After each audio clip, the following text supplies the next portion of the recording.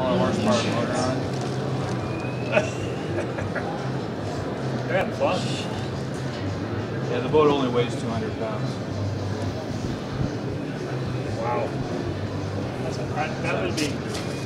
Stainless steel transom. Obviously, it's a PVC hull. Thermally weld our seams. We don't glue them. Yeah.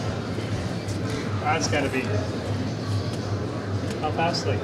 With a 50 horsepower motor, we're running about a 15, 16 pitch uh, semi-cleaver surface prop.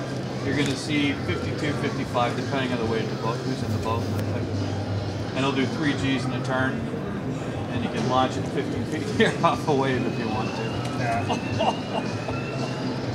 But that's the, that's what the boat was designed for. How easily do they flip over? They don't flip over easily. I'm not saying it is not Go- going to flip over on yeah. you. Uh, if you see back of the boat, it's like a torpedo shape. It's Yeah. like a bullet. Basically, that'll dig in the water and tend to send the front of the nose of the boat down. Right. Beautiful. That looks. See that that would be fun.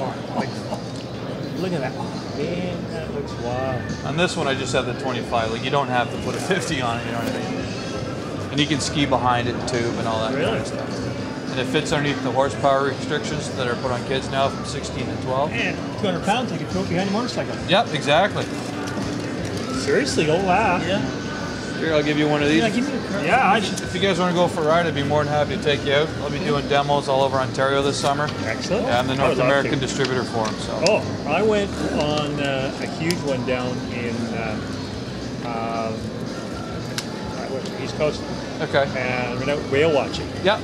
So it was one of those big, huge things. It Okay. wrong. Yeah, the big we, we rips, hit- yeah. Oh god, we had major waves Yeah. like this. and The Yeah. thing just took it. Eh? Well, these types of boats in the ribs too, they're more popular overseas than they are here, but that's what they're all designed for ocean. you? Just for fun, yeah.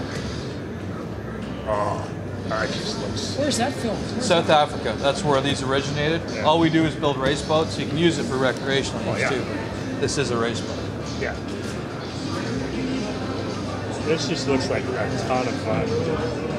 And it's a true full tunnel hull, asymmetrical tunnel. If you look Right. at the back here.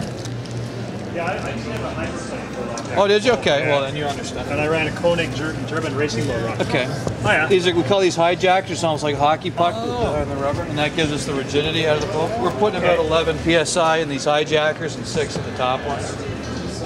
But yeah, it is a true tunnel. Okay. Speed tubes or whatever Yeah. they call them on them. Do they come bigger at all? Like No, we one just make the one 13 foot size. The other companies do, like uh, he was mentioning ducks, they make different sizes, but Yeah. we've designed our boat. This is the best size for the horsepower, and Yeah. we don't diversify from that. Do you have options in motors at all? Like 50 and down. 50s or different like manufacturers. Yeah. Uh, I carry. The, I'm an OEM for Tohatsu. They're the only ones that get short shafts from basically now. Uh, 30. The boats were originally ocean rescue boats from South Africa. Um, it is a true tunnel hull design. We only build race boats. The boat itself weighs 200 pounds. Maximum horsepower on it is 50 horsepower, but you can run any lower than that. Um, stainless steel transom. It's a wash-through design, so the boat cannot get swamped. Uh, PVC tunnel. We thermally weld our seams. Most other co- our competition glue theirs. Um, there's four compartments, two in each tunnel, and also there's the skyjackers on hijackers on the bottom. That, that's where we get our rigidity from. Um, what else? It's two people for racing. Single person can drive it also.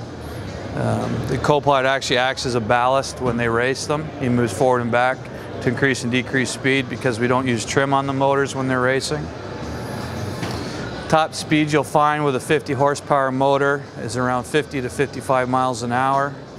Uh, three G's in a turn and obviously from watching the video you can blast through 10, 15 foot waves. Established like race leagues right now? Yeah, with uh, the, the Toronto Outboard Club, we're going to be doing three demo races this year. Um, we haven't set the dates for firm, but we are doing demo races. That's our goal is to get a racing class going across Canada. There is racing in the States. Um, I don't have the information on where they're racing, but there is a race. It's, it's really large over in South Africa, Australia, New Zealand.